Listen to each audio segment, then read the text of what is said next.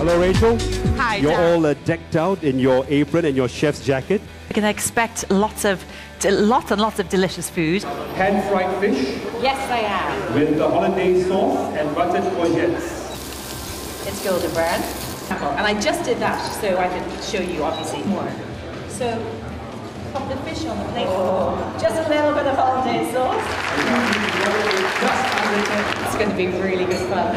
I love it. And your will start now. Okay, I will just burn everything and I will just crack things all me being slightly greedy. We will uh, as well. Educating at home. Literally, it's going to take her minutes to do this. It So doesn't break once the metal spoon is in there. And then some whiskey. some some whiskey. You just drop it on top of the coffee.